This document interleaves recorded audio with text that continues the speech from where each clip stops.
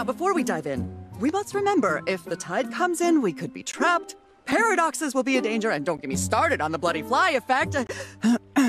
but a bad girl historian like myself is all about taking risks. So let's boogie down to History Town. Finger guns. She really is cool, Aunt Lilith. Hey, nerds! How was your nerd quest? You find that dead nerd? Laying it on a little thick there, Ida. But yeah, we found Philip. Whoa, seriously? Yeah, he's stuck. I punched him in the face. Ruby, Auntie. Oh, God, please, no! Uh, you, you guys need to stop that.